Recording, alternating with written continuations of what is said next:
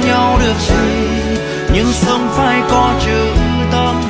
Đừng để tình nghĩa xưa phân chia giới hạn vật chất đừng gieo thêm bao gian dối, đừng sống hơn thua đời. Đừng nhìn người kém ta, nhếch mép xem thương người khác. Dẫu sẽ tìm được người bạn, tất thế cũng không lìa xa. Này bao